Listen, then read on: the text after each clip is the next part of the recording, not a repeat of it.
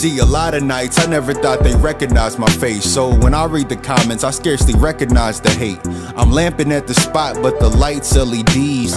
Glancing at my watch, but it need batteries. So I check my phone. My storage can't been reached, but I just got a text that's in Japanese. The hell they say? Gotta translate it, have to understand who the fuck could be texting Man, who the the kid at 3 a.m. I hit ChatGPT, copy and paste. You know, iPhone to Mac when you back at the place. Crazy. Couple seconds lapse, now I have a rough translation. Come alone with the briefcase at the train station. Uh. I'm looking at my phone yelling, ugly ass dude, stupid ass dude, goofy ass dude, weird ass dude. Wrong number, I type reply really quick.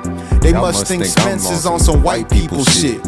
I head into my bedroom, then head into the bathroom. I have to wash my day off and dream about some ass soon. Fresh out the shower, check my phone again before I rest. Another text, but it's far from who I would expect. My nigga Sean, he Oh, told me up, he on his way soon. He got a story to tell me that he'll explain soon.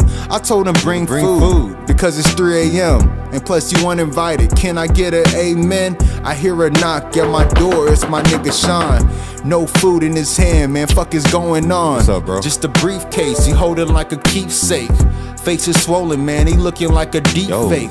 Staring at me like he just seen a ghost. Well, say something, bro. Bro, you you doing the something. most. He said, let me apologize. Man, I, I know it's dumb late and you know rather be asleep, but No, this no, just can't wait. but I Really. get it. I made a I bet with some bet with Japanese gangsters. gangsters. Heat versus Celtics. Celtics. Goddamn Tatum. It was time to I didn't have it and they barely gave me time to collect. My phone is off and they didn't have a number to text. wait, wait a minute. As I think about that prior shit, you gave him my shit? Yeah, he you gave gave him my shit.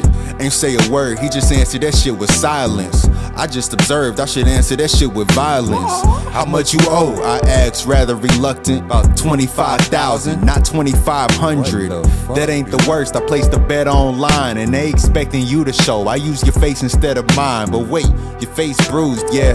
I tried to rob a couple dudes. That check wasn't going through. Uh-huh. So what we gon' do? We Nigga, you gotta handle this your damn self.